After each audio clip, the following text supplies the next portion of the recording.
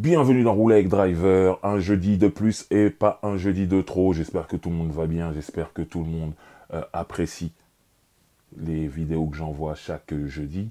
Euh, j'espère que si vous appréciez, vous partagez, que vous mettez des, pouces vers le haut, là, je crois que c'est pouces verts, hein. je me rappelle plus de la couleur. Bref, j'espère que tout le monde va bien et bon, euh, malheureusement aujourd'hui on va parler de DMX, je dis malheureusement parce qu'il nous a quittés, mais heureusement parce qu'il nous a laissé de la grande musique. Et c'est une légende du rap américain, on peut le dire. Ça fait longtemps qu'on peut le dire de toute façon. Donc voilà, je, veux plutôt qu'on le célèbre plutôt qu'on le pleure.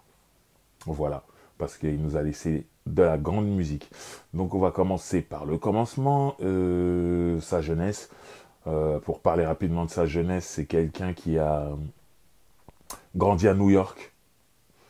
Euh, Yonkers, pour être plus précis. Euh, Yonkers, c'est une partie de New York très très dure, ravagée par la pauvreté, toute la négativité qui va autour de la pauvreté, dont la drogue. Justement, en parlant de drogue, il a dit lui-même dans, dans, ses interviews qu'il a touché au crack dès l'âge de 14 ans. Le crack, c'est une drogue très très dure. On tombe très très vite accro à cette drogue. Et pour dire la vérité, euh, quand on, nous montre des gens accros au crack dans les films ou dans les documentaires, on voit des gens qui se décomposent physiquement. Et DMX, quand il arrive, il est torse nu, il est musclé, il est athlétique.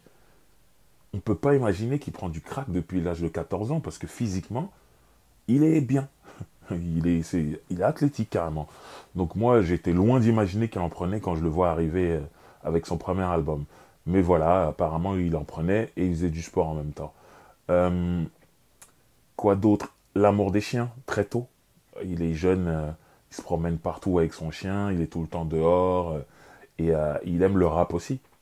Donc, il rappe et il battle. C'est très important à New York, les battles. Déjà, DMX, c'est quelqu'un qui a toujours eu l'esprit de compétition, donc il voulait éteindre les autres rappeurs du coin. Mais en plus, à New York, quand tu commences à rapper, souvent tu vas à l'école, donc tu n'es pas dans un truc où tu as euh, un beatmaker ou même juste d'avoir des phases B euh, de vinyle euh, de, pour rapper sur les versions instrumentales. faut avoir un budget quand même pour acheter les vinyles et tout. Donc souvent tu rappes juste à capella, à l'école pour des gens. Et souvent à l'école, les gens se battent en fait. L'autre dit je suis un meilleur rappeur que toi. Toi tu dis non, c'est moi le meilleur. Et les mecs joute verbale comme ça dans la cour de récréation, c'est un truc normal à New York. Donc DMX faisait beaucoup ça, pas spécialement à l'école, partout, dans la rue, au coin de rue et tout, et euh, toujours accompagné de son chien. Donc euh, c'est un peu ça sa jeunesse, c'est euh, malheureusement crack, le rap, les chiens. Et c'est quelqu'un aussi qui qui a besoin d'avoir de l'argent ou d'avoir des affaires. Donc, c'est quelqu'un qui va dépouiller, en fait, des gens pour avoir leurs affaires ou leur faire les poches, des fois des dealers.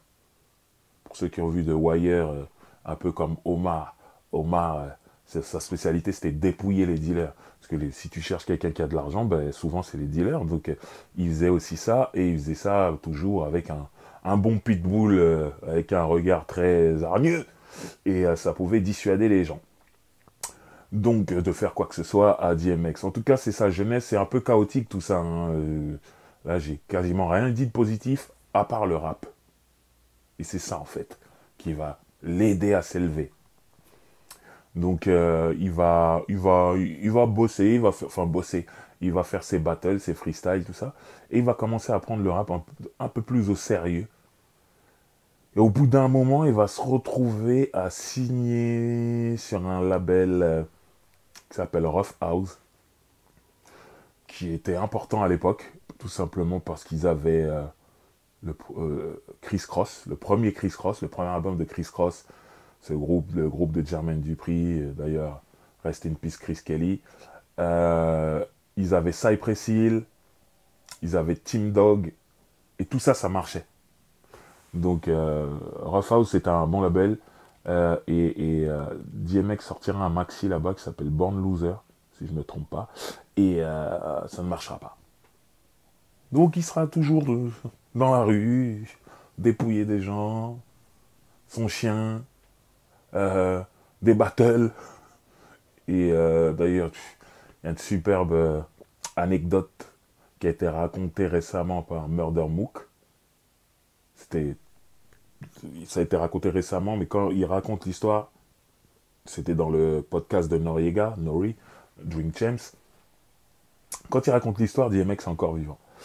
Donc, il raconte qu'un jour, il a vu, il a vu DMX battle dans la rue. Il était, c'était vraiment dehors en coin de rue. Il était en train de battle un autre rappeur, connu dans le milieu des battles de New York. Et euh, il dit qu'à un moment, quand c'est au tour de DMX de rapper, DMX commence à sortir ses rimes et tout. Et à un moment, il dit, ouais, euh, il a son chien avec lui. Il dit, mon chien devrait te mordre. Et apparemment, quand il dit, mon chien devrait te mordre, le, le chien fait, il grogne. Et donc déjà, c'est bizarre. Tout le monde se dit, mais c'est comme si le chien comprenait le texte de DMX. Ça, c'est fou.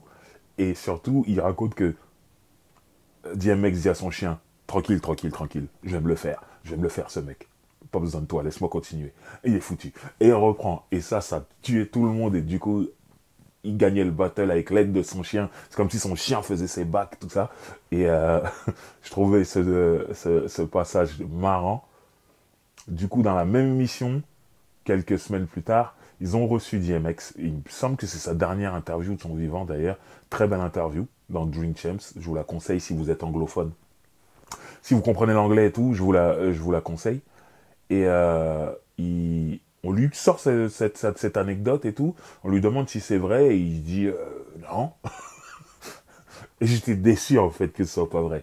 Mais après, il, explique que non, c'est pas que c'est faux, c'est que ça s'est pas passé tout à fait comme ça. Et surtout, lui, il n'a pas vécu comme si son chien faisait ses bacs. Mais en même temps, dans son regard, on peut voir qu'il se rappelle pas en fait. Moi, c'est ce que j'ai ressenti. Donc, j'ai envie que cette, anecdote soit vraie. J'ai envie qu'elle soit vraie, tout simplement. Et puis pour dire la vérité, quand Murder Mook, qui est un battle MC aussi, hein, la raconte, il n'a pas l'air de mentir. Donc moi, je crois plus que DMX ne se souvient pas vraiment. Donc il dit euh, non, je pense pas. Et que Murder Mook, lui, il est tellement passionné par l'histoire et comment il la raconte. Moi, je pense que c'est vrai, en fait. Donc bref, euh, DMX, euh, voilà, battle, drogue, chien, dépouille. On est là-dedans. Alors, Rough Riders, le label Rough Riders. Si vous voulez savoir, en savoir plus sur ce label, je vous le dis, vous pouvez rester sur ma chaîne Roule avec Driver et il y a un épisode dédié au label Rough Riders. Donc, Rough Riders, c'est le label qui signera DMX, le label indépendant qui signera DMX. Et la rencontre, en fait, elle est, euh, j'allais dire, elle est simple, c'est pas vrai. Euh, il y a un super documentaire euh, sur BET, qui s'appelle BET Chronicles, spécial Rough Riders, parce qu'il existe une spéciale Death Row, une spéciale No Limit. Là, on parle de DMX, donc spécial Rough Riders, où ils expliquent bien la rencontre, euh, comment s'est passée la rencontre entre le label Rough Riders et DMX. Et sur YouTube, elle est, elle est en anglais, sans sous-titres. Mais par contre, elle est passée sur BET France. Je ne sais pas si elle est toujours en replay mais en replay, elle est sous-titrée pour ceux qui ne comprennent pas l'anglais. Mais je vais vous faire un résumé rapide de cette rencontre. Euh, le label Rough Rider cherche euh, un artiste à produire, hein, et ça y est, ils ont décidé de se lancer. Et euh, au, même moment, l'un des, des, membres fondateurs du label était encore dans la rue en train de faire ses affaires, si vous voyez ce que je veux dire. Et il se trouve que dans ce quartier, il y avait euh, aussi un cousin du célèbre rappeur qui nous a quittés, Evidi. Evidi est déjà célèbre à ce moment-là. Euh, euh, donc il a un cousin aussi qui, qui, fait ses affaires dans la rue avec l'un des membres fondateurs de Rough Riders. Et un jour, Evidi, donc superstar du rap, vient en voiture et passe dans une de ses rues pour voir son cousin. Et justement, quand euh, l'un des membres de Rough Riders voit Evidi, il demande à Evidi, euh, voilà, il demande conseil. Il dit voilà, moi j'ai mon label, je veux produire des artistes, je veux être dans, le business de la musique, comment on fait Et Evidi lui a dit clairement, il faut que tu aies un artiste. Dès que tu as un artiste, rentre en contact avec moi et on essaie de trouver un deal pour voir comment on fait. Et apparemment, voilà, il y a, y, a, y, a, bah, y a une personne de, de la rue qui dit, moi j'ai un artiste, je connais quelqu'un, enfin j'ai un artiste, je connais quelqu'un qui rappe et tout, il s'appelle DMX, et j'ai la cassette. Donc la cassette de DMX tournait, et apparemment, euh, on ne connaissait pas son visage, on connaissait que sa voix. Et euh, donc directement, ils vont dans la voiture et ils écoutent euh, la, cassette de DMX et le, le gars de Rough Riders qui tout de suite est dit il est où ce mec? Je veux le voir. Dit ouais je sais qu'il vit à Yonkers dans telle rue euh, faut aller le voir. Donc ils ont été jusque dans le, le quartier de DMX dans la rue de DMX et euh, ils demandent aux gens ouais vous connaissez DMX et à un moment ils tombent sur DMX lui-même. Et ils savent pas que c'est lui. Ils disent ouais vous connaissez DMX DMX comme c'est un mec de rue qui avait l'habitude de dépouiller des gens, il se disait, ok, oh, c'est quelqu'un qui vient pour me faire ma fête parce que j'ai dû faire, lui faire du, du, mal ou à quelqu'un de son entourage. Donc il recule et il dit, euh, non, c'est pourquoi? Il fait comme si c'était pas lui. Et là, le gars dit, ouais, moi j'ai un label, j'aimerais travailler avec lui, j'ai entendu sa musique et tout, et voilà. il comprend que c'est pour de la musique, donc il se méfie un peu moins, mais euh, voilà.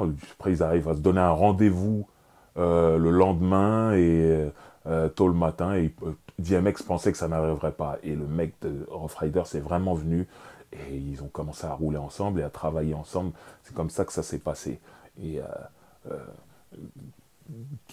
je répète qu'à ce moment-là, DMX, c'est un rappeur qui fait des battles, qui arrive à enregistrer des démos avec des DJ, et c'est un mec qui dépouille dans la rue. Il vole des gens. Il vole monsieur tout le monde ou parfois des dealers pour avoir de l'argent et tout, et il fait ça avec son chien. Donc Rough Riders va l'amener vers une autre vie. Alors après ce, single, ce maxi sorti chez Rough House, sans succès, euh, il cherche sa voix dans le rap, mais honnêtement, personne ne le veut. Personne ne veut le signer, personne ne croit en lui. Jusqu'à ce qu'il rencontre Irv Gary, qui à cette, à cette époque-là est DJ Irv.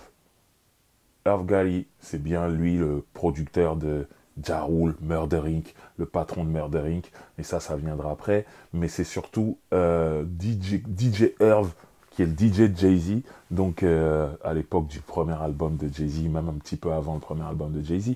Bref, il est un peu dans l'industrie. Et puis, euh, à force, il est là, il avance, il fait ses trucs avec Jay, rencontre d'autres gens, euh, il, est déjà, a déjà Jarul dans les starting blocks. Euh, il commence à être vraiment connecté et tout doucement, il se retrouve à être directeur artistique chez Def Jam. Parce que voilà, on trouve qu'il a une bonne oreille et qu'il sait dénicher les talents. Donc, il est directeur artistique chez Def Jam et directement il proposera DMX à Def Jam. Il arrive avec des démos de DMX et il fait écouter à Def Jam. Et tout le monde rit, personne ne croit en ce DMX, donc en Irv Gotti. Ça veut dire, les gens se disent, mais est-ce qu'on s'est pas trompé en, embauchant ce Irv Gotti en fait? Parce qu'il nous ramène un mec qui se, qui se prend pour un chien, parce que ça y est, DMX, il a cet amour pour les chiens depuis tout petit. Il met ça dans son rap, il aboie, il grogne, euh, il a cette voix rauque. Euh, et puis surtout, il est très émotif au niveau de sa musique.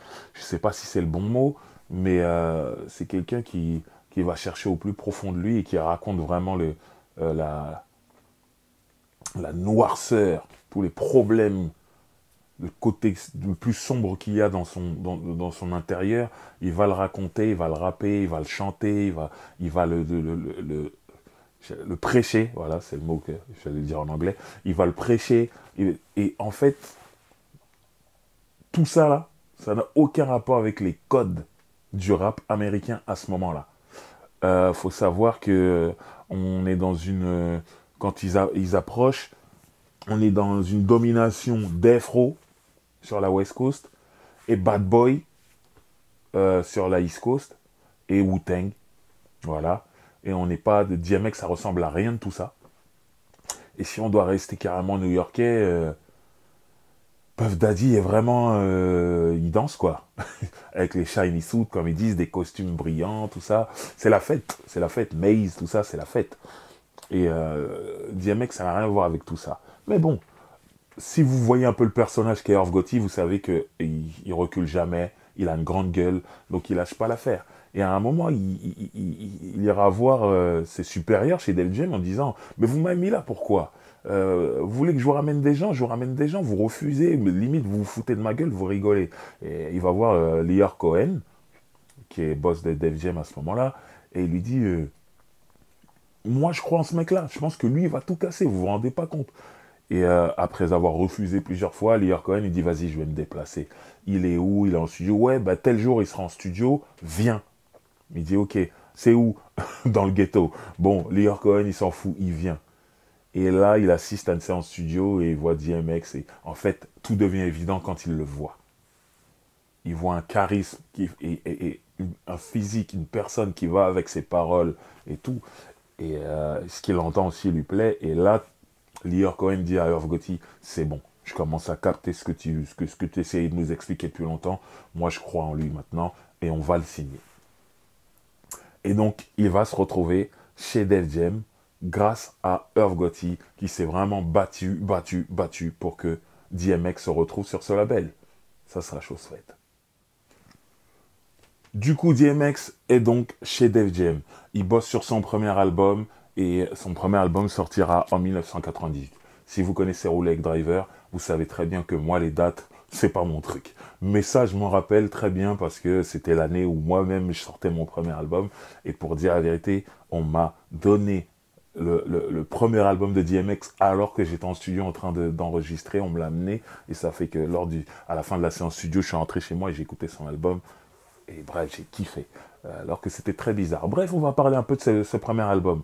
Le premier album, euh, on, voit un mec sombre, une pochette sombre et tout. Et surtout quand on écoute l'album, au niveau des, beats, au niveau des rythmiques,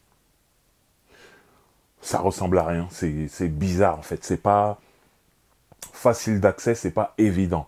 Aujourd'hui, mec, on connaît sa carrière, on est là, on est habitué. Mais quand c'est arrivé, c'était spécial. Mais le premier single qui a été envoyé un peu avant la sortie de l'album, c'était Get Me Dog, produit par Dan Grease et le morceau, il était, c'était du rap new-yorkais en vrai. Euh, au niveau du beat, c'était pas ça qui était spécial. Dem Grease, ça va, il était assez conventionnel, fort mais conventionnel. Et la petite histoire autour du morceau, c'est la direction artistique qu'a amené Irv Gotti, comme quoi il est vraiment important dans les débuts de DMX, dans l'exploitation du titre.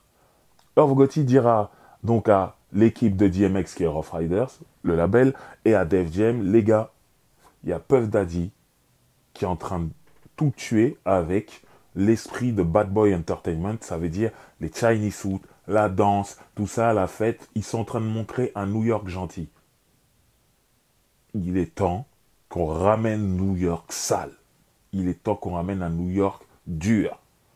Donc le clip de Get Me Dog, on va aller le tourner au tunnel, le tunnel qui était la boîte de nuit hip-hop de, cette époque-là. Et on va le faire en noir et blanc. Et il faut que le truc, il soit...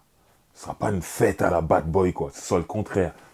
Dans le club, on va voir que des gens énervés et tout ça. Et tout le monde est OK, ils font, ils le clip. Et c'est pour ça que, si vous voyez le clip, le clip commence avec euh, des battements de cœur, qui met la pression. Et à un moment, ils disent euh, faut ramener ce truc dans la rue. Et Gotti expliquera qu'en vérité, c'était de l'anti-bad boy entertainment quand il fait ça. C'était pour dire ok, vous vous dansez avec des costumes brillants, nous on va ramener ce truc dans la rue. Et c'est ce qu'ils font. Et là, le morceau part et c'est la folie. Franchement, New York, ils étaient complètement dingues de ce truc. Les radios jouaient le jeu, les, les gens dans la rue étaient contents, ils étaient fiers. Et c'est pour moi, c'est comme quand Wu-Tang arrive. Quand je dis ça, ça veut dire, euh, ok, c'est New York sérieux, New York. Ne me faites pas dire ce que je n'ai pas dit. J'adore Bad Boy et comme chez Bad Boy, il y avait Biggie qui est peut-être le meilleur rappeur de tous les temps, peut-être parce que je change d'avis euh, à chaque fois que je dois faire un top, mais euh, en tout cas, il en fait partie. Donc ne me faites pas dire ce que j'ai pas dit. J'adore Bad Boy, mais c'est vrai que Bad Boy, tu l'écoutes t'écoutes ce label pour d'autres raisons. Rough Riders, c'est autre chose. Wu-Tang, c'est autre chose. Voilà. Et pour moi, Rough Riders, ils arrivent dans la lignée de Wu-Tang. On arrive avec un New York sale. Et du coup, Get At Me Dog joue vraiment ce jeu-là. Euh, après, il sortira des singles comme euh, Stop Being Greedy, où il y aura un clip, un clip vraiment étrange. Allez voir les clips hein, après. Euh, YouTube est là, allez voir les clips. Stop Being Greedy. À chaque fois que je regarde ce clip, j'ai l'impression, la façon dont la caméra bouge et agresse DMX ou les gens qui sont dans le, clip, j'ai l'impression qu'ils sont mis à la place d'un chien, un pitbull sûrement, et que les coups de caméra, c'est l'agressivité d'un pitbull qui vient avec sa tête, qui, qui veut te mordre ou je sais pas quoi. Je ressens ça pendant tout le clip. donc il met une pression. Hmm.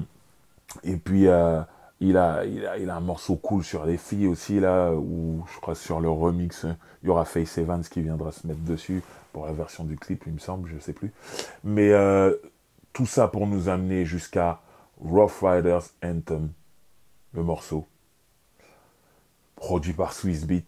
Et c'est là, c'est ces drums-là, c'est ces beats-là que je vous dis, c'est différent, ça n'a rien à voir avec tout ce qui se fait. Euh, c'est étrange, quoi. en vrai, c'est un des morceaux préférés de l'album dès que je l'écoute. Mais c'est pas spécialement grâce à la musique tout de suite, c'est grâce au refrain que DMX a. Le refrain de Rough Riders Anthem jusqu'à maintenant, tu le mets en soirée, les gens ils chantent, ils crient et tout. C'est magnifique. Mais si on revient à 1998, c'est pas évident. C'est vraiment pas évident. Aujourd'hui, c'est un classique, on le sait. Mais euh, quand c'est sorti, c'était bizarre. Hein. C'est-à-dire, moi, j'ai aimé, mais je connaissais des gens qui détestaient. Qui disaient, mais c'est quoi ça Il n'y a même pas de basse. Il n'y a pas de, de enfin, il n'y a pas de notes dans la basse qui joue, il y a des trucs. Et ting, ting, ting, ting, ting, ting. Il y a des gens qui ne comprenaient pas ça. Moi, j'ai eu la chance d'aimer tout de suite ce morceau et afin de, le voir en classique et tout. Bref, cet album-là, c'est un carton total. Je sais plus, il en vend 4-5 millions, je sais plus. C'est énorme, c'est énorme. En fait, les chiffres qu'il fait, c'est rare de les avoir sur des albums aussi hardcore. En général, tu fais ce genre de chiffres quand tu as un petit morceau cool pour la radio. Lui, c'était que du hardcore. Et c'est passé, mais c'est pas passé un petit peu. Il a tout cassé. Et c'est ce que Irv Gotti disait. Il disait, ce mec-là, ça passe ou ça casse. Mais si ça passe, ça va passer très fort. Et c'est ce qui s'est passé. Rough Riders aussi, c'est ce qu'il disait. Et ils croyaient bien sûr en leur artiste. Et à partir de ce moment-là, c'est la folie. DMX, c'est plus qu'un truc new-yorkais, c'est un truc euh, dans tout le pays. Et là, ils réaliseront un truc de fou. Il sortira son deuxième album la même année. Et euh, Flesh of My Flesh, Blood of My Blood. Euh, cet album, il paraît d'après les rumeurs, merci Elena au passage, que euh, on lui a Def Jam lui aurait proposé un million de dollars. Ils ont dit de prime. Si tu sors un autre album cette année, on te donne un million de dollars. Il a dit ah bon? Il paraît qu'il l'a fait en un mois. Et euh, cet album, quand il sort, il rentrera numéro un, comme le premier album qui est rentré numéro un. Et là, il a un record. Deux albums qui sortent la même année, et qui sont numéro un de son vivant. Je précise parce que Tupac l'a fait avec All Eyes on Me et Machiavelli, mais Machiavelli, malheureusement, pour Tupac, il n'était pas là pour voir la sortie de cet album, il est mort avant. Mais lui, euh, DMX, il l'a fait de son vivant. Deux albums qui rentrent numéro un la même année. Donc c'est la folie. Alors pareil, hein, cet album-là, il y a des, des, morceaux, euh, vous savez, je ne veux pas faire de chronique, j'ai l'habitude de le répéter, mais il y a des, gros morceaux comme It's All Good, qui n'a pas été clippé, mais qui est peut-être mon morceau préféré de l'album. Euh, il, y a, y a Sleeping, qui, est un morceau où vraiment, ça y est, il commence vraiment à écrire à propos de ses démons et de tout ce qui se passe dans son corps et tout. Et ce morceau est très profond, très fort. Il a des morceaux de ouf. Il, a, il y a, a Jay-Z qui est sur l'album franchement, c'est dingue de sortir deux albums de ce calibre-là la même année. Vraiment. Et c'est là qu'on se dit, ce mec, il est là pour durer. Parce que souvent, quand ton premier album il cartonne comme il a cartonné, c'est que tu as mis tout ton jus. Lui, la même année, il a retrouvé le jus. Et surtout, il l'a enregistré très rapidement, euh, le deuxième album. Chapeau. Alors là, DMX, c'est parti. Et puis surtout, Def Jam, à ce moment-là, ils ont trois gros labels. Il y a Rough Riders, qui a DMX. Il y a Murder Inc., qui est le label de Earth Gotti, où il y a Jarul, qui qui est là aussi. Et il y a Rocafella qui va arriver chez Def Jam. Et du coup, euh, euh, du coup, du coup, ce qu'on dit, hein, c'est qu'avant ces trois labels-là, Def Jam était en train de couler. Des gens disaient même qu'ils allaient mettre la clé sous la porte, quoi. Mais au final, ces trois labels-là ont sauvé Def Jam. Et DMX, à ce moment-là, est le plus gros vendeur de ces trois labels-là c'est bizarre de dire ça aujourd'hui quand on connaît la carrière de Jay-Z, mais DMX vendait plus que Jay-Z à ce moment-là. C'est bizarre de dire ça quand on connaît le côté crossover de, de Ja mais à ce moment-là, Ja n'avait pas encore fait le crossover crossover avec ses chansons rap R&B, donc DMX vendait plus que Ja DMX vendait plus que Jay-Z à ce moment-là. Donc on aime souvent dire que DMX a sauvé Def Jam. Bon, pour moi les trois labels, mais DMX était devant, il vendait plus. Donc voilà. En tout cas, si vous voulez vraiment comprendre Rough Riders, le label, euh, je ne vais pas en parler énormément aujourd'hui parce que j'ai déjà fait un roulage driver qui est disponible sur la chaîne, un spécial Rough Riders où on détaille un peu les artistes et le mindset du label. Donc euh, je vous invite à, aller voir ça. En tout cas, à ce moment-là, DMX cartonne dans les charts, c'est fou. Et surtout, il y a Swissbeat qui a fait beaucoup plus de production sur le deuxième album alors que sur le premier, il était sur quelques prods. Sur le deuxième, il est beaucoup, beaucoup, beaucoup là. Et du coup, il impose son son qui est bizarre, qui est très spécial. Mais les gens adhèrent. Et c'est ça qui est bien. Et euh, par exemple, quelqu'un comme Jay-Z, comme je le disais, Irv était DJ de Jay-Z à l'époque, donc il est proche de Jay-Z. Et quand il, a DMX, il écoute DMX, il, fait écouter à Jay-Z en disant hey, eh, ce mec-là, je vais le signer chez Def Jam, c'est un truc de fou, euh, je crois beaucoup en lui. Et Jay-Z écoutera en disant Mais non, ça marchera jamais. Un mec qui se prend pour un chien, un mec qui, euh, raconte ses démons, tout ça, il va, il, va, il va stresser les gens. Les gens, ils vont pas être bien, il va les mettre dans un sale mood. Non, les gens, c'est pas ça qu'ils veulent. Et le mec a tout explosé.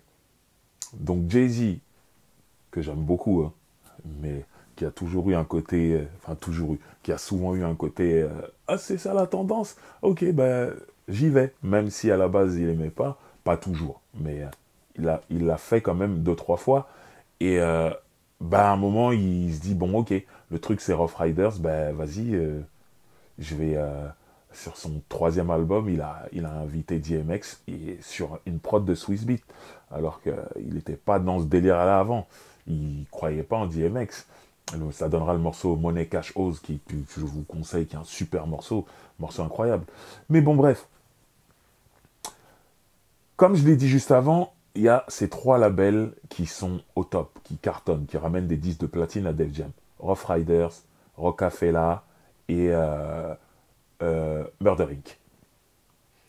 Du coup, Gotti, qui est toujours au milieu de ces trois labels, numéro 10, le mec qui se balade, qui fait des passes, qui, distribue le jeu, il se balade donc entre ces trois labels et il a l'idée, il se dit, mec, il faut qu'on fasse un groupe avec ces trois rappeurs phares de ces labels-là. Ja Rule, sachant que c'est son artiste à lui, de son label Murder Inc., donc c'est malin. Jay-Z, qui marche, et DMX qui marche sur l'eau, carrément. Il se dit, il faut faire un groupe de ces trois-là. Et euh, là, on voit la... comment un forceur, Irv Gotti, c'est qu'il se dit, on va appeler le groupe Murder Inc. Alors, Murder Inc., c'est en rapport à, des, gangsters qui ont vraiment existé à l'époque. Euh, il y a des séries de reportages et documentaires qui sont trouvables sur euh, Internet, des trucs de l'époque de la télé en noir et blanc. Et, en même temps, c'est son label. Et lui va appeler le groupe de ces trois super rappeurs Murder Inc. c'est un gros malin. Mais euh, bref, les, autres euh, disent pas non. Euh, quand je dis les autres, c'est DMX et Jay-Z disent pas non. On commence à enregistrer quelques morceaux, mais quand on dit enregistrer quelques morceaux, c'est pas comme un groupe en fait. c'est plus Jarul va commencer un morceau. Irv Gotti va se dire, il serait bien d'avoir Jay-Z dessus. Il va appeler Jay-Z, Jay-Z va bien aimer le morceau, il va poser un couplet aussi. Ça fait qu'on aura Jarul featuring Jay-Z.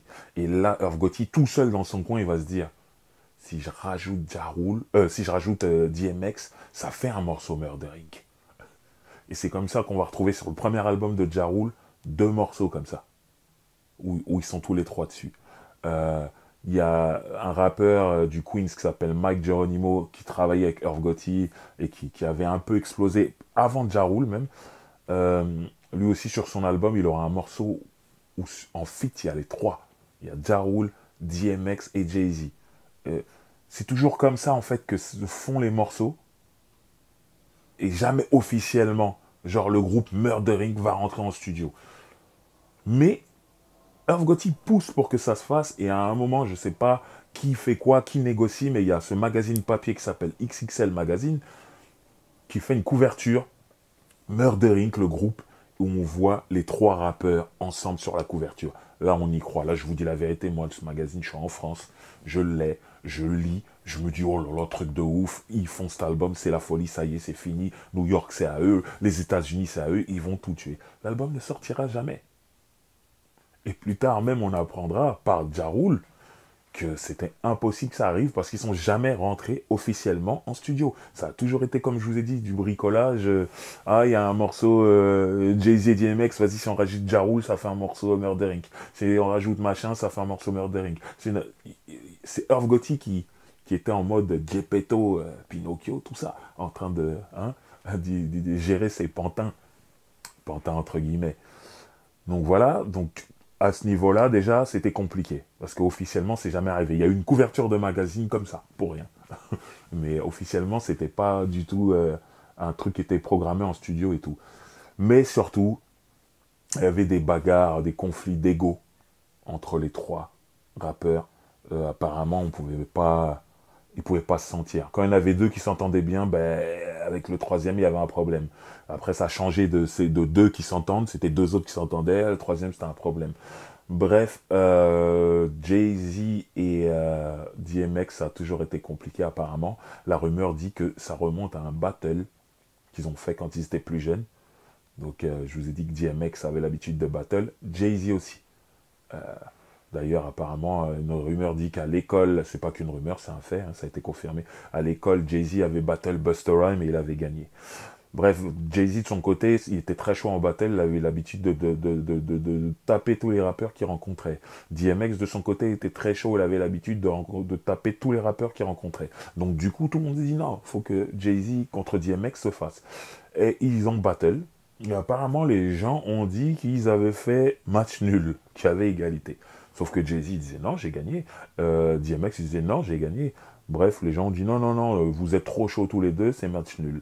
Et la rumeur, je dis bien la rumeur, la rumeur dit que ce battle-là, il est resté en travers de la gorge des deux. Comme les deux pensaient avoir gagné, jusqu'à, entre guillemets, aujourd'hui. quoi. Ça veut dire que ne pouvaient pas se sentir en vrai à cause de ça. Ils disaient non, j'ai gagné, non, c'est moi qui ai gagné, je suis meilleur que toi. Ils Ils pouvaient pas se sentir à cause de ça. Donc c'est euh, les bruits de couloir. Et vous savez, les drivers traînent toujours dans les couloirs.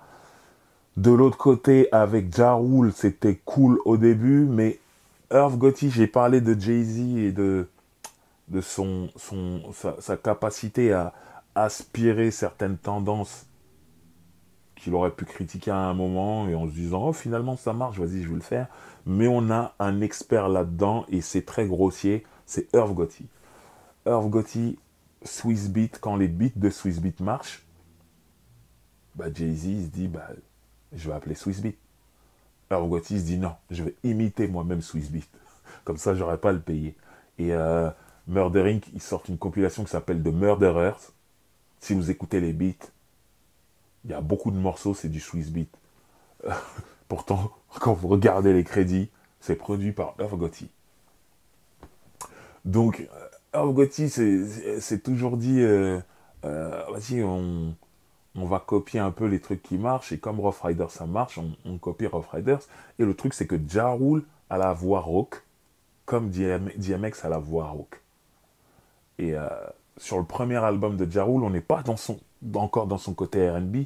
Donc c'est vrai que le premier album de Jarul peut ressembler à du DMX. Et DMX a commencé à lui en vouloir en disant Ouais, tu copies sur moi et tout. Et moi, quand ça arrive, je me dis Mais attends, DMX, il n'était pas sur l'album de Jarul. Quand il a enregistré avec Jarul, il ne se rendait pas compte que ça, ça se ressemblait. Et c'est là toute la complexité des Américains. Sauf qu'à ce moment-là, ils étaient potes, en fait.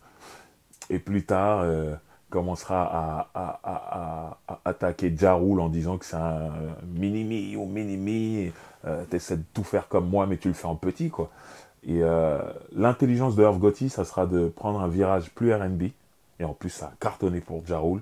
Et du coup, à partir du, moment où il devient plus RB, on pense moins à DMX quand on entend Jarul. Donc ça, c'est cool. Mais c'est pour dire que DMX déjà avait une embrouille avec Jay-Z. Et ensuite, il a rajouté une embrouille avec, euh, avec. Là, on a compris que c'est bon. Ça se ferait plus, quoi. Il n'y aurait pas de Murdering, le groupe, je précise. Mais bon, euh, chacun cartonne de son côté. Hein. et euh, j'ai vu euh, plusieurs interviews de Irv Gotti en parlant de DMX qui disait que de toute façon, DMX, tout ce qui est rappeur, il déteste. Si t'es un rappeur, il t'aime pas. C'est mort. Donc en vérité, Murdering, ça aurait pas pu se faire.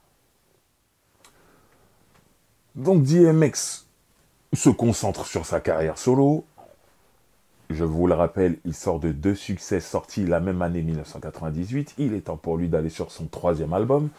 Et il sortira cet album avec succès. Alors, je répète, premier album rentré directement numéro 1, résultat multiplatine. Deuxième album rentré directement numéro 1, résultat multiplatine. Et là, il sort son troisième album qui rentre directement numéro 1, résultat multiplatine. Bref, ça marche énormément, euh, c'est la folie. Et euh, euh, il y aura le morceau What's My Name qui sera le, premier single de l'album. Et je me rappelle que on voit Jay-Z dans le clip, je crois peut-être même Ja Donc à ce moment-là, on se dit ah ouais, ah il y aura peut-être le Murdering le groupe. Non non, c'était juste une période où il s'entendait à peu près avec eux, il les tolérait dans son clip. Mais c'est mort, ça n'arrivera jamais, c'est même pas la peine d'espérer. Bref, cet album-là, il est incroyable. Franchement, quand il est sorti, là on n'est plus dans le truc, c'est bizarre, on est habitué au son de Rough Riders. Donc quand il sort, c'est waouh.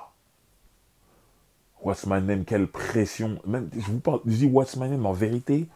Ok, What's My Name, c'était le clip et tout, magnifique, rien à voir. Mais en termes d'énergie et de côté sombre, écoutez le premier track de l'album, l'intro, le titre va s'afficher, je ne me rappelle plus du titre, mais c'est la folie. Et eh, à chaque fois que je dis, t'as envie de te battre. T'entends ce morceau, t'as envie de te battre. Non, mais en termes de folie, je dis pas, n'allez pas vous battre, mais par exemple, si vous êtes à la salle de sport, mettez ce morceau, vous allez soulever plus que d'habitude. Vous allez ressortir costaud de ce truc-là. Donc, non, franchement, très très lourd l'album et tout. Et euh, il y a un single qui qu'on peut dire classique, clairement, c'est même pas qu'on peut dire. Il est classique, c'est Party Up.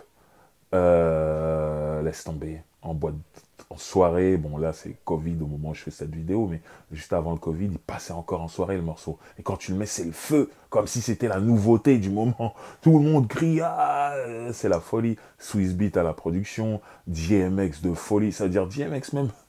C'est un morceau qui s'appelle Party Up. Ça veut dire c'est un morceau pour les clubs. Même quand il monte sur un morceau pour aller club, il est énervé, le mec. Donc, et ça tue. Euh, franchement, ce morceau, il a traversé le temps et il est encore là pour longtemps, je vous le dis. Maintenant, il y a un autre morceau qui s'appelle What They Want, un truc comme ça. Euh, What These Bitches Want for my nigga. Le titre s'affichera de toute façon. Euh, avec Cisco de Drew Hill, connexion Def Jam. Mais le morceau, complètement dingue. Je suis désolé, là, j'étais euh, perdu un peu pendant une ou deux secondes parce que je repensais au clip. Magnifique. Et des filles superbes. Gros bisous à Gloria. Euh, ce morceau, c'est une tuerie et je me souviens avoir lu une interview dans un magazine, alors ça devait être The Source ou XXL Magazine, mais à l'époque de cet album, on lui demandait un peu d'expliquer euh, d'expliquer ce morceau et il disait que j'ai trouvé ça fou. il disait que euh, je sais plus, il était sur il avait une date de concert en dehors de New York et tout, une date de sa tournée. Et euh, chaque date, il y avait plein de groupies qui lui tournaient autour, qui criaient, qui étaient prêts à tout pour passer une nuit avec lui. Et euh, du coup, il a un jour, il a fait rentrer plusieurs groupies dans sa chambre d'hôtel. Elles étaient toutes contentes, elles se disaient ah on va coucher avec DMX. Et il les a fait s'asseoir il s'est assis en face d'elle et il leur a dit Qu'est-ce que vous voulez vraiment en fait? Qu'est-ce que. Pourquoi vous faites ça? Pourquoi vous êtes après moi alors que vous savez que je ne vais pas vous donner mon amour? Pourquoi Allez, imaginons que je couche avec vous. Voilà, vous avez une nuit, mais demain je vais dans une autre ville, je vous aurais oublié, vous savez. Pourquoi vous voulez absolument ça? Et j'ai trouvé ça fou, étrange. J'étais en train de lire, je me disais, wow, je dis ça parce que, bon, je suis moi-même rappeur, bon, j'ai pas les groupes DMX, hein. Euh, n'essayez pas de, me faire dire ce que je n'ai pas dit, on ne se mélange pas, on n'a pas la même carrière, tout ça, on sait rester à sa place. Mais euh, il était arrivé à un niveau, il a son troisième album, où il était plus euh, en mode chacal, ah, je vais, je vais profiter de, des groupies, en fait. je disais, mais c'est dingue tout ça. Bon, il faut que je comprenne. Aujourd'hui, on va comprendre. Et en fait, il a discuté avec, euh, avec les, les, les, groupies, et euh, en fonction des réponses qu'il a eues, il a écrit ce morceau. Et ça, j'ai trouvé ça ouf. Et je me suis dit, quelle force quand même, c'est DMX. Quelle force. Je dis quelle force parce que les groupies, il devait avoir des meufs super jolies, et puis de penser à discuter à ce moment-là, c'est une force. Donc là, DMX, et surtout le morceau est réussi, était produit par Nokio de Druil aussi. Et euh, vraiment, euh, bravo. Et euh, la petite anecdote m'a toujours fait sourire. Je me suis dit, c'est de la folie. Je me dis, ces groupies, elles devaient, être, se dire, mais il est sérieux, lui, quand est-ce qu'il nous saute dessus, quoi? Non. Et aujourd'hui, il va parler avec vous. C'était dingue. En tout cas, troisième album, troisième succès, euh, la folie, la folie, la folie. Ça continue avec l'équipe Rough Riders. Je vous le rappelle, si vous voulez plus de détails sur Rough Riders, il y a un épisode sur la chaîne YouTube Roulette Driver, donc c'est facile à trouver. Mais bon, DMX continue son run. DMX, comme je vous ai dit, euh, DMX euh, est toujours dans la compétition avec les rappeurs. Alors Gotti dit carrément qu'il déteste les rappeurs. DMX est un sex symbole, comme je vous disais au début de cette émission. Il prend du crack, mais il fait du sport en même temps. Donc il est là, il est frais et tout. Il a du succès. Euh, les filles euh, l'adorent. Euh, mais bref, on est une période où Corrupt, de Dog Pound, il est là, là. Il nous regarde. Corrupt de Dog Pound sort avec Foxy Brown, la rappeuse. Foxy Brown de New York, Corrupt de Los Angeles. Ça veut dire que coast to coast, hein, c'est compliqué, mais euh, quand ils se voient, ils sont ensemble, mais quand ils se voient pas, qu'est-ce qui se passe? C'est ça le problème des relations à longue distance. Euh, peut-être que je ferai une autre chaîne YouTube pour parler de relations euh, homme-femme. Je rigole, c'est bon. Bref, c'est compliqué. On se demande toujours ce que fait notre notre euh, compagnon ou compagne euh, lorsqu'on n'est pas là et surtout qu'on habite à 6-7 heures d'avion. Eh bien, la rumeur, qui n'était pas une rumeur, hein, dit que Foxy Brown et DMX ont couché ensemble. Mais quand ils couchent ensemble, elle est censée être en couple avec Corrupt. Donc du coup, Corrupt, euh, dès qu'il apprend ça, Bon, déjà, il, stoppe sa relation avec euh, Foxy Brown. Mais surtout, il attaque DMX sur un morceau qui s'appelle Calling Out Names, qui est sur son deuxième album, qui s'appelle Street is Mother, qui est peut-être mon album préféré de Corrupt en plus. Euh, la question se pose entre ça et Space Boogie, mais euh, je dirais Street is Model. Là, tout de suite, c'est Street is Model. Mais bref, le morceau dans cet album s'appelle Calling Out Names. Il est en fin d'album. Il me semble que c'est l'avant-dernier morceau. Et euh, dessus, il, insulte, il insulte DMX. Il insulte Jarul. je, ne sais pas c'est quoi l'histoire, mais il avait envie. Et, à un moment, il dit Fuck the Firm. Et The Firm, c'était un groupe coproduit par Trackmasters et Aftermath. donc Dr. Dre. Et c'était un gros groupe, ça devait être un super groupe new-yorkais avec Nas, Nature, AZ et Foxy Brown. Donc quand il dit fuck the firm, fuck Foxy. Donc il, est voilà, il attaque euh, tous ces gens et euh, euh, je me souviens d'un documentaire, un DVD de DMX. bon, je reparlerai peut-être après. Un DVD DMX où justement on lui parle de ça. C'est un espèce documentaire. On lui dit ouais, il y a Corrupt qui t'a attaqué et tout ça. Il disait ouais, je m'occuperai de lui en temps et en air. Genre, je vais faire un morceau, quoi. Il était en studio et tout. Mais entre-temps, Rough Rider sortait des compilations. Euh, Ride or Die, euh, volume 1, volume 2. Et dans le volume 2, il y a un morceau, un super morceau en plus, avec euh, Scarface, Snoop, Young One. Et je dois en oublier un. Il me semble qu'il y a quatre rappeurs, je sais plus. Mais en tout cas, le truc qui est important, c'est que sur ce morceau, il y a Snoop. Et c'est la période où Corrupt, quand il, s'attaque à DMX, il dit aussi fuck, fuck Rough Riders. Il le dit. Donc, du coup, euh, Snoop, qui est censé être Dog Pound avec Corrupt, se retrouve à aller faire un feat sur le, Rough Riders Volume 2. Et ça, ça a créé un bif entre Corrupt et Snoop à ce moment-là. Corrupt en a voulu à Snoop, il a dit, tu vois, tu dis qu'on est ensemble, on n'est pas ensemble. Si je suis en bif avec Rough Riders, pourquoi toi tu vas faire un feat avec eux? Et c'est vrai que Snoop a toujours eu un côté un peu bizarre là-dessus. Peut-être qu'un jour, je ferai une vidéo très courte, mais pour vous expliquer de, quoi je parle, des, contradictions, des nombreuses contradictions Snoop. je pense que c'est un... C'est une très bonne idée, ça. Ça vient de me tomber dessus, là, tout de suite. Je vais bosser dessus, les gars. Bref, moi, quand Corrupt s'embrouille avec Snoop, pour ça, je le comprends. Moi, c'est où t'es avec moi ou t'es contre moi, mais pas les deux, euh, truc, machin. Bref, plus tard, ils feront la paix, euh, Corrupt et, DMX. Il fera la paix aussi avec Jarul, mais bon, ça, on s'en fout, c'est pas une spéciale Jarul aujourd'hui. Euh, donc, il fera la paix avec DMX. Ils sont rencontrés à l'aéroport de Los Angeles. Ils se sont croisés. Et Corrupt allait voir DMX en lui disant euh, T'es dans ma ville là. Si je veux aujourd'hui, tu sautes. L'autre, il dit Ouais, c'est sûr. DMX dit Ouais, c'est sûr. Vous, pouvez m'avoir aujourd'hui. Mais en gros, il dit DMX dit à, à Corrupt Est-ce que c'est pas à ta meuf, enfin, à ton ex-meuf Foxy, que tu dois d'abord en vouloir c'est elle qui, est en couple, était en couple avec toi, pas moi. Et à un moment, si elle fait ça avec d'autres gens, c'est peut-être d'abord elle le problème. Et puis maintenant que tu n'es plus avec elle, je vais pouvoir te dire qu'elle a une sacrée réputation à New York. Et Corrupt dit oui, maintenant je sais. Donc tu as raison. Toi et moi, on va enterrer l'âge des guerres.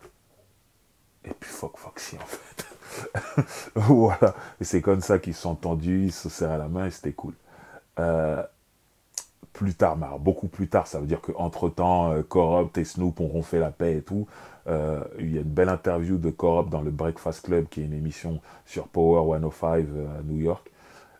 Corrupt expliquera que, ouais, Snoop lui a toujours dit, tu peux pas rapper dans tes morceaux, notamment les Playhouse, que tu peux pas, et sur l'album de Dr. Dre, euh, le 2001, tu peux pas, en gros, changer une salope en ta femme. Elle changera pas une salope, c'est une salope. Tu peux pas rapper ça et faire le contraire, en fait. Snoop lui disait ça. Et il disait, ouais, non, c'est clair et tout. Donc, euh, ouais, Snoop est parfois de bons conseils. Foxy, je t'adore au passage. Mais Snoop est parfois de bons conseils.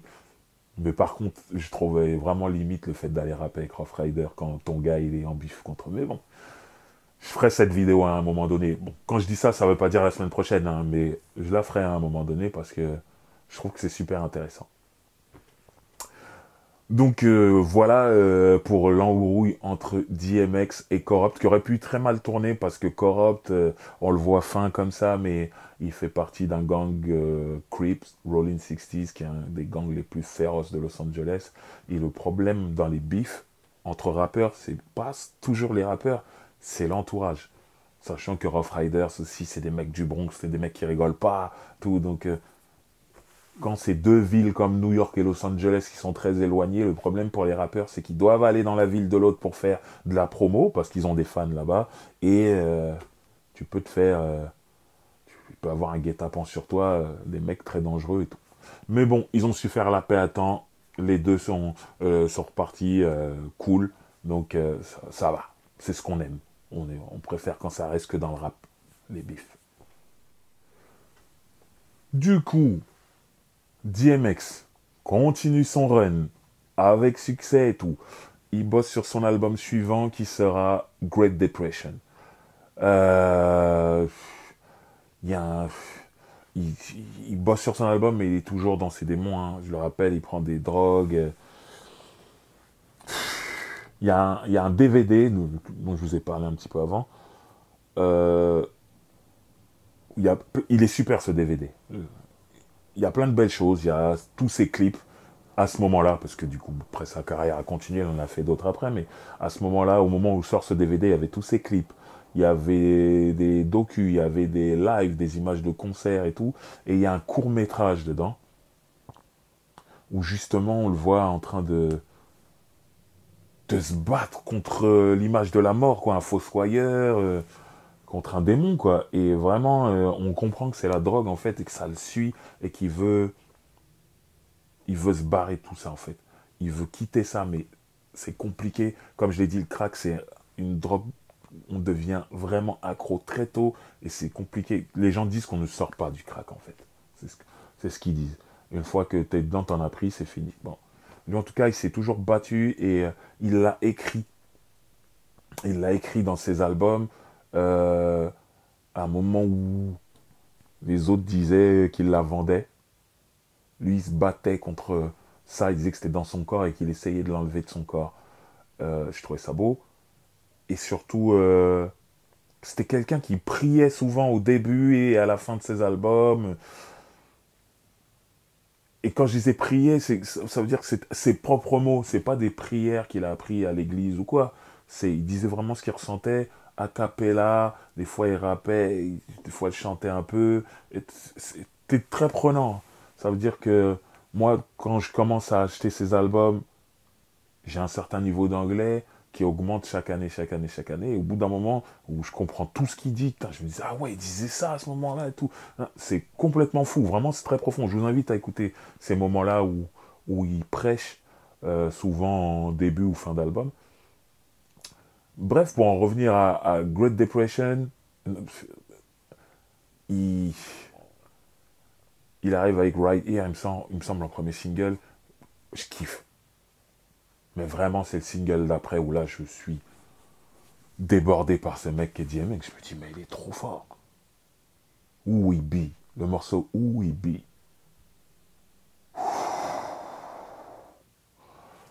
La musique, une agression. Comment il rappe? Une agression. Le flow, une agression. Il jette des mots comme ça.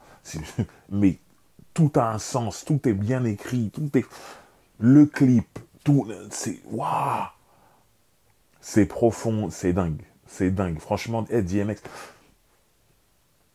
être un rappeur et être capable de d'avoir du jus au bout de ton. Là, on parle du quatrième album.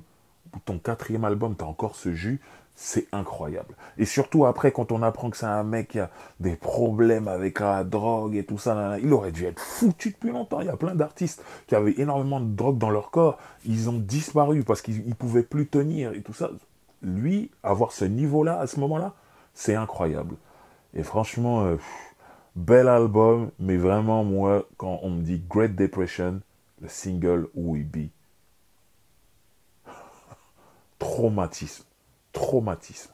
Franchement, euh, encore une fois, il rentre numéro 1. numéro 1, album, platinum, tout ça, machin. Les chiffres baissent légèrement par rapport à l'album d'avant. Mais c'est platinum quand même. C'est numéro 1 à la sortie Ça, c'est complètement fou. Là, je suis en train de vous dire que il a quatre albums, là, pour l'instant, et numéro un à chaque fois. Ça, c'est complètement fou. Ce mec bat des records. Et bon, toujours dans son run, victoire, tout ça, mais en même temps, il a ses problèmes de drogue et commence à aller en prison, faire des allers-retours en prison. Alors, je suis pas dans la chronologie parce qu'il a été plusieurs fois en prison et je ne pourrais pas me souvenir de tout, mais euh, il peut aller en prison pour maltraitance animale parce qu'il avait battu un chien, je sais pas. Il va en prison pour, pour tout et rien. Et là, là, récemment, euh, après sa mort, il y a eu des témoignages sur les réseaux sociaux et tout de, gens qui étaient autour de lui, comme Swissbeat ou Dragon. Dragon, un artiste signé chez Rough Riders. Lui, c'était vraiment dur, moi, pour moi, de l'écouter témoigner. Il pleurait, pleurait, pleurait, pleurait énormément. Et ça me faisait mal, en fait. Donc, euh, par contre, Swissbeat, il, il parlait. Et euh, à un moment, il a dit, en parlant de, des problèmes de drogue que DMX avait, il disait que des fois, tellement il voulait s'en sortir. Et c'est ça qui est beau, c'est ça qui est important. C'est qu'il voulait s'en sortir. Il ne s'est pas dit, oh, la drogue, c'est super, j'en prends. Non, il n'a jamais eu ce discours-là, contrairement à beaucoup de rappeurs. Et euh, il voulait s'en sortir. Et Swissbeat dit, à un moment donné, tellement il voulait plus être près de la drogue, il se disait, je prends moins de drogue, voire pas de drogue, quand je suis en prison. Donc il dit qu'il y a eu au moins une fois, peut-être deux, où il a été en prison, il a provoqué ça de lui-même. Parce qu'il s'est dit, si je suis en prison, je serai loin de la drogue. Et euh, peut-être que j'irai mieux. Et d'en arriver là, c'est déjà qu'il était accro de fou, donc il fallait qu'il se retrouve dans un endroit où il n'y en a pas. Bon, d'après les rumeurs, on trouve beaucoup de choses en prison. Mais bref, vouloir aller en prison pour être loin de la drogue, parce qu'en étant libre à l'extérieur, il est tenté, c'est quand même fou comme image. Et euh, euh Swissbeat racontait ça et ça m'a touché. Je me suis dit, putain, il voulait s'en sortir quand même. Malheureusement, il était dans un combat très compliqué, mais je le rappelle, pour un mec qui a commencé à prendre du crack à 14 ans, le mec, il était athlétique et il a, duré longtemps sans que ça se voit, en fait. Après, au bout d'un moment, ouais, ça a commencé à se voir et tout, mais moi, rien que pour ça, j'aimerais lui tirer mon chapeau parce que des fois, je vois des gens euh, sur les réseaux sociaux, quand il y a quelqu'un qui, meurt euh, d'une overdose ou problème lié à la drogue, qui disent ouais, mais qui lui a, qui l'a envoyé se droguer, tout ça. C'est pas comme ça la vie. Les gars, euh, quand quelqu'un meurt, déjà, c'est peut-être un frère, un père, un fils qui disparaît. Donc, faut pas voir qu'il prenait de la drogue, faut voir qu'il y a plein de gens qui vont être tristes autour. Et aussi, quelle était sa relation avec la drogue? Il y a quelqu'un qui est venu, qui est plus âgé que lui, qui lui a mis ça dans la gueule. Il avait 14 ans, c'était un enfant, un gamin. Euh... On peut pas lui en vouloir, déjà, si ça s'est passé comme ça. Et puis surtout, on voit que le mec, il n'en a jamais fait l'apologie, il n'a pas dit c'est cool d'être drogué, et surtout qu'il a toujours essayé de s'en sortir. Moi, rien que pour ça, déjà, moi j'ai de l'amour pour lui. C'est quelqu'un qui, se battait. Il voulait s'en sortir. Donc, je le répète encore, comme j'ai dit en début d'émission, repose en paix, le Darkman X, DMX, repose en paix. On n'a pas fini, vous inquiétez pas. Donc voilà, en tout cas, succès, euh, Great Depression, succès encore, euh, et euh, DMX continue. Pourtant, le rap américain est en train de changer. Hein. Mais lui, il a le droit, lui. il n'est pas obligé de s'adapter aux nouvelles tendances. Il continue. Ça marche. Alors, DMX va bosser sur son album Grand Champ, qui sera son cinquième album. Il va bosser dessus avec gros single. Moi, c'est ça, que j'aime avec DMX, c'est que quand tout le monde est en train de chercher euh, Bon, quel sera le premier single de l'album? On va chercher ton morceau le plus euh, radio, le plus RB, le truc, le morceau où tu as un feat avec un chanteur, une chanteuse et tout ça, machin. DMX, tu peux y aller. Il a sorti Where the Who That, Where the Who, Where the Where the Who That. Il n'y a pas de chanteur, pas de chanteuse. DMX, il fait tout le morceau. Swiss Beat à la production. Le truc, il est agressif.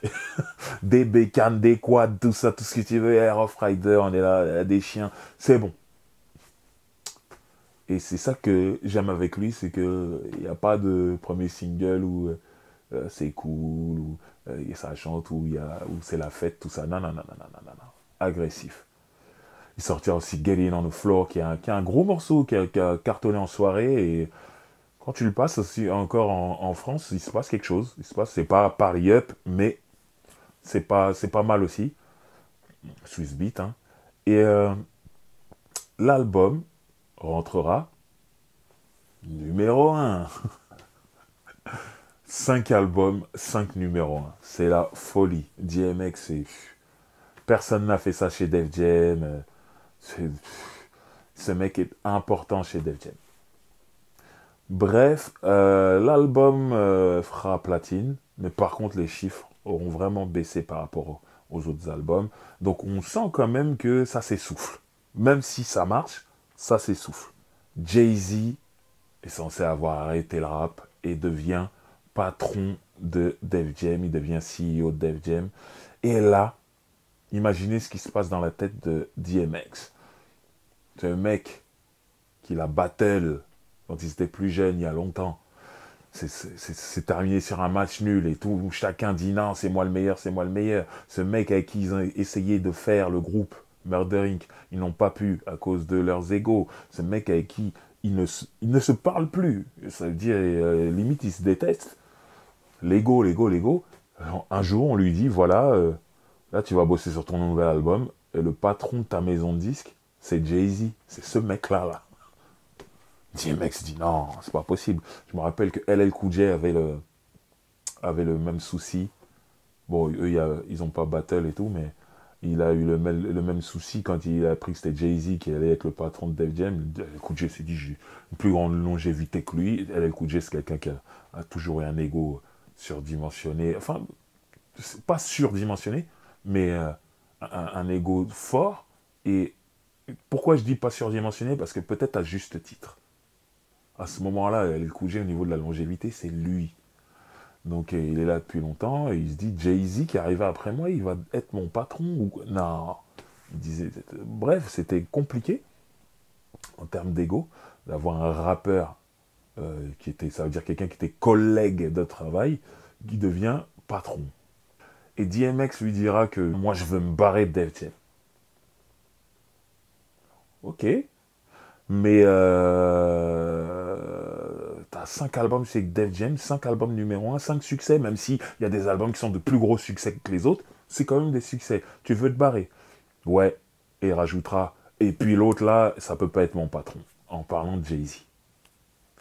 On comprend pourquoi ils se barrent, et voilà, c'est que toujours leur, leur, euh, leur ego, là, leur battle d'il y a je sais pas combien d'années, ça vient même gâcher le business, tout ça, bon, c'est triste.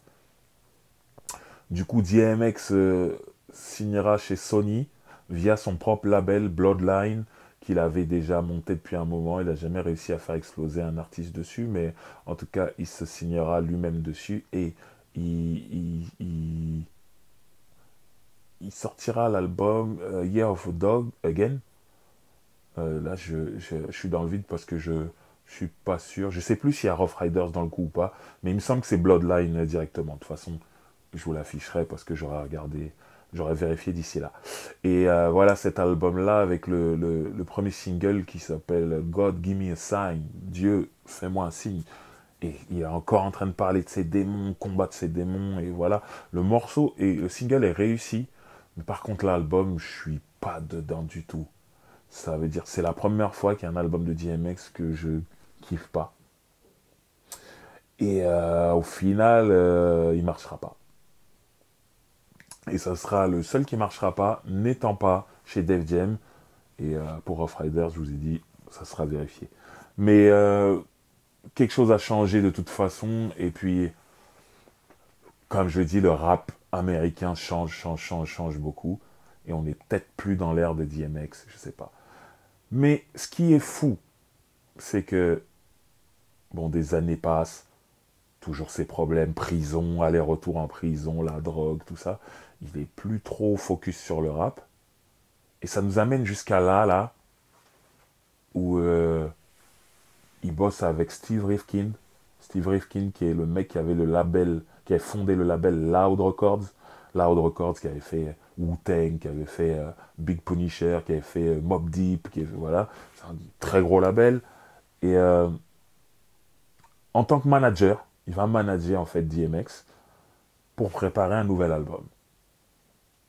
Et ça sera chose faite, et je le rappelle, dans Dream Champs, l'émission, le podcast de Noriega, ils, ont fait une spéciale DMX, DMX est invité, et il disait clairement, ouais, ouais, j'ai un album qui arrive, il est fini, blablabla. Euh, Donc euh, on était content, et surtout, les rumeurs, alors on verra quand ça sortira, mais les rumeurs disent que il a re-signé chez Def Jam pour sortir cet album-là.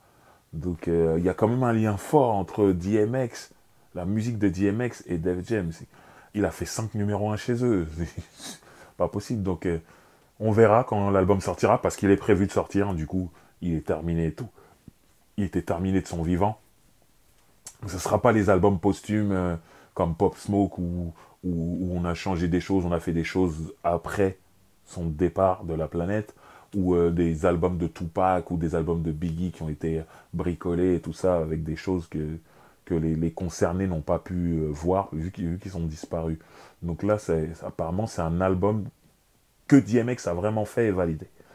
Donc euh, moi, j'attends ça. J'attends. J'attends. J'ai besoin de compléter ma discographie avec ce DMX.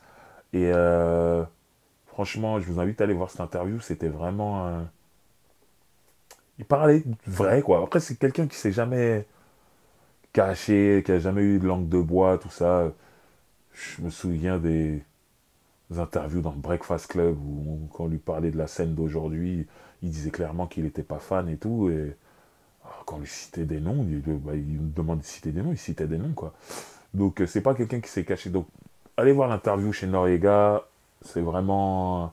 Elle est vraie, l'interview pour ceux qui, comprennent l'anglais. En tout cas, voilà, en ce qui concerne les, albums de, DMX, il a fait du, cinéma, parsemé comme ça pendant sa, carrière discographique. Euh, on va retenir euh, Belly, le film Belly, qui était euh, esthétiquement très beau. L'histoire, c'était cool pas le film du siècle, mais par contre c'était beau, parce que c'était un film de clipper, euh, c'était Hype Williams, si je ne me trompe pas, euh, qui a fait ce clip, donc euh, il y avait le soin, l'esthétisme, et il avait un rôle, un des rôles principaux, il y avait Nas aussi qui jouait dedans, Taral X, pour ceux qui savent. bref, j'en oublie un, je sais plus qui, mais bref, Belly, c'était cool. Moi, c'est un film que j'ai apprécié. Euh, il y avait bien sûr le Roméo doit mourir, Roméo must die, euh, avec Alia. D'ailleurs, ils font la bande originale. Euh, ce morceau avec Alia qui est superbe, qu'ils ont clippé et tout. C'était une piste Alia aussi. Il y a le film Hors Limite. Après, s'est retrouvé dans des films, des téléfilms, tout ça il a fait sa petite carrière sympa. Après, c'est quelqu'un qui avait, euh, qui avait énormément de charisme. Maintenant, lui-même le disait. Euh, c'est pas lui-même qui le disait, mais c'est certains réalisateurs qui ont tourné avec lui qui disaient que DMX, il pouvait jouer que le gangster, le, méchant et trucs parce que c'est ce qu'il connaissait en fait. Mais dès que tu lui demandais de sortir de ça, il avait du mal parce que c'est pas quelqu'un qui a fait des, qui a pris des cours pour être acteur. Contrairement à Tupac, qui lui avait pris des cours, donc il pouvait jouer plein de rôles. Mais DMX, tu pouvais le mettre que dans un style de rôle. Mais par contre, ce style de rôle, il le faisait très bien. Parce qu'il était charismatique et qu'il vivait le truc. Donc, euh, euh, moi, je, je, trouve que dans le cinéma, il a pris les rôles qu'il devait jouer, en fait. Donc, du coup, j'aime bien sa filmographie. Elle est cool. Donc, euh, DMX, bien aussi au cinéma. Alors voilà, moi en tout cas, euh, DMX euh, nous a quittés, là récemment. Et euh,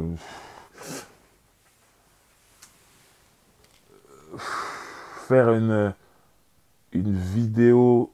Moi, quand, il est mort, j'ai reçu des tonnes de messages sur mes réseaux sociaux. Driver, faut que tu fasses un roulette driver, un driver sur DMX. Faut que tu le fasses, faut que tu le fasses. T'es obligé, tu truc machin. Je voulais pas la faire tout de suite parce que déjà un, ça m'a un petit peu touché et euh, surtout, je voulais pas la faire tout de suite parce que on va apprendre plein de choses. C'est-à-dire là, au moment où cette vidéo sort, sachez qu'il y a plein de choses sur lui qui vont arriver. Ça veut dire des anecdotes. Parce que à la mort des artistes, les langues se délient. Les gens vont raconter plein d'histoires qu'on ne connaissait pas. Donc déjà, ces anecdotes-là ne seront pas dans cette vidéo. Donc déjà, ça, c'est un peu relou. Et surtout, euh, je sais que déjà là, on dit qu'il est mort d'une d'une overdose il y a déjà des rumeurs qui disent apparemment il n'y avait pas de drogue dans son corps euh, quand il est mort, donc euh, c'est ce serait peut-être pas une overdose, mais par contre, il a été vacciné contre le Covid et que ce serait peut-être une mauvaise réaction. C'est des peut-être, c'est des rumeurs, tout ça, je sais pas. Et peut-être que d'ici là, après cette vidéo, on en saura plus. Donc tout ça, c'est des raisons pour lesquelles aussi c'était relou pour moi de, faire cette vidéo, mais bon, euh, j'ai succombé à la pression pas vraiment la pression, c'est que bon, je l'ai faite là, mais honnêtement, je pensais que je la ferais beaucoup plus tard. Mais je me suis dit, euh, allez, je me lance. Mais voilà, c'est pour vous dire que vous verrez qu'on va apprendre beaucoup de choses. Après, euh, peut-être faire un complément d'enquête plus tard, je sais pas. Quand je dis complément d'enquête, je parle pas de l'enquête autour de, sa mort, mais plus euh, moi, par rapport à Roulette Driver, trouver un moyen de rajouter, de faire une petite vidéo s'il y a des choses qui se passent autour de DMX. Et voilà, on verra. Mais en tout cas, reste in peace DMX, le Dark Man. Euh, merci pour toute la musique. Merci pour l'énergie. Comme je le dis souvent, il y a des morceaux de rap qui sont parfaits pour aller au sport. Ben, essayez d'aller à la salle avec du DMX je vous jure que vos forces vont se décupler. Euh, merci pour la profondeur. Euh, merci pour tout, hein, tout simplement. Hein. Euh, ta musique tournera toujours. Dans nos, oreilles, que ce soit dans nos téléphones, nos ordinateurs, nos chaînes nos platines, en soirée, tout ça. Toujours.